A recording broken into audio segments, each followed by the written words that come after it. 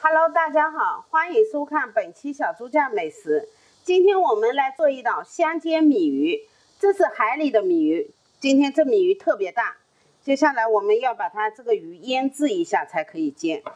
我们用个大盆腌一下，下楼一小碗料酒，来一小勺盐，加入点鸡精，我们来一小勺生抽。再切点生姜，我们再加点胡椒粉，我们加点葱段，用手把它抹均匀。这米鱼蛋要腌制十分钟，让它味道进去了就可以了。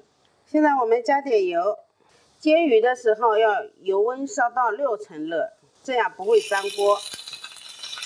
腌制好的鱼呢，我们要用厨房纸给它控干水分才下锅煎。接下来我们给它反个面煎一下。香煎米鱼，我们这个香煎的鱼都要用慢火煎。煎这个你不知道熟了没熟的时候，你煎到熟不熟的时候呢？不知道熟不熟的时候呢，你用筷子肉跟刺能分离了，说明这个鱼已经煎熟了。好了，现在我们可以关火装盘。出锅前，我们再撒点胡椒粉，我们加点葱花。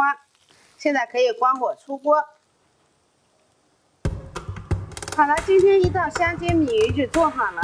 如果喜欢我们视频的小伙伴，请点关注和转发。我们下期再见。